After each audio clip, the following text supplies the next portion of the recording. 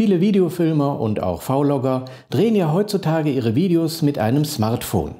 Heute stelle ich euch eine Weltneuheit vor. Ein Wireless-Mikrofon für Smartphones, Tablets und auch Windows-PC. Ich kenne es selber noch nicht und so wollen wir es zusammen einmal kennenlernen und auch ausprobieren. Herzlich willkommen bei Holgers Videotreff. Schön, dass du reinschaust. Das brandneue Fifine Wireless Lavalier-Mikrofon gibt es derzeit bei AliExpress. So, ich habe es dann bestellt und den Euro per PayPal bezahlt.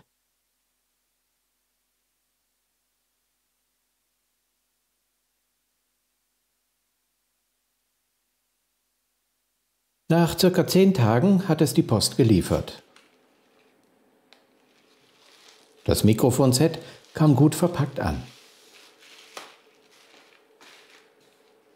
Schauen wir uns mal an, was zum Lieferumfang gehört. Obenauf liegt eine englischsprachige Bedienungsanleitung, die alles Wissenswerte gut erklärt.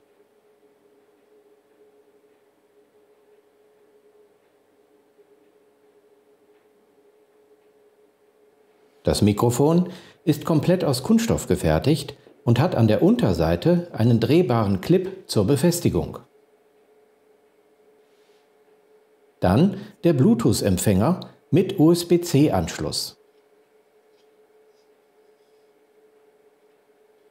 Ein USB-C-Ladekabel und ein Säckchen für alles zum Transport. Das Ganze macht einen einfachen aber gut verarbeiteten Eindruck. Der Akku im Mikrofon wird hinten per USB-C aufgeladen.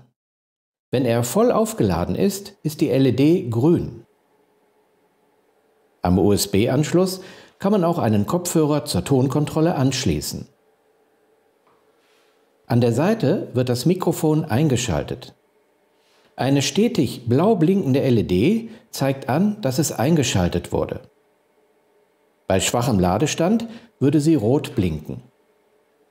Das Mikrofon hat eine Kugelkopf-Charakteristik. Es nimmt also alles auf, was es kriegen kann, muss daher aber auch nicht immer ganz genau auf die Tonquelle ausgerichtet sein. Es hat einen Frequenzgang von 50 bis 15.000 Hertz. Der Bluetooth-Empfänger wird einfach nur ans Aufnahmegerät am USB-C-Anschluss angesteckt. Es muss nichts installiert werden. Also einfach Plug and Play für Android, iOS mit Lighting Converter und Windows PC. Auch hier gibt es einen USB-C-Anschluss. Dieser ersetzt den jetzt belegten Anschluss am Aufnahmegerät. Hier kann man also auch noch ein Powerpack andocken, falls erforderlich. Zunächst blinkt die LED blau, Erst wenn sie immer blau ist, ist das Mikrofon einsatzbereit. Als ich das Gadget an meinem Samsung S8 testen wollte, habe ich festgestellt, dass dort der Ton nicht aufgenommen wurde, obwohl das Mikrofon erkannt wurde. Wahrscheinlich deshalb, weil ein externes Mikrofon nicht am USB-Anschluss, sondern nur am Klinkenanschluss angeschlossen werden kann. Deshalb ein Test mit einem etwas anderen Smartphone hier dem S10.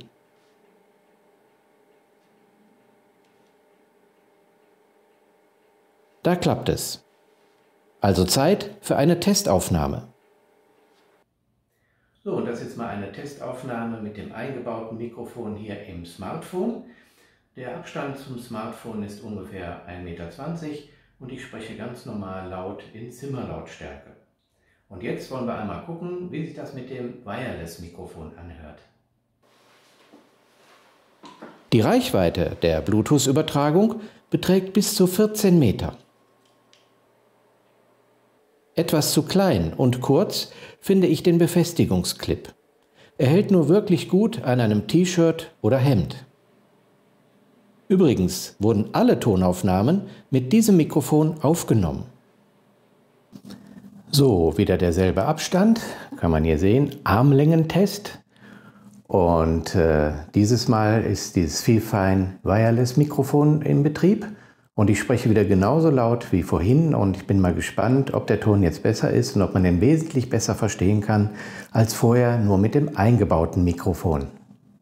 Drückt man den Ein-Ausschalter nur kurz, so wird das Mikrofon stumm geschaltet. Dann ist die LED immer rot. Klein und handlich ist das Fifine Wireless Mikrofon. So kann man es einfach mitnehmen und hat es für Statements und auch Aufsager schnell zur Hand. Übrigens, bei voll aufgeladenem Akku kann man es bis zu 5 Stunden nutzen. Und bevor ich es vergesse, es kostet unter 30 Euro. Das geht doch, oder? Das war's für heute. Ich bedanke mich fürs Zuschauen und ich hoffe, wir sehen uns beim nächsten Mal wieder. Bis dahin, tschüss.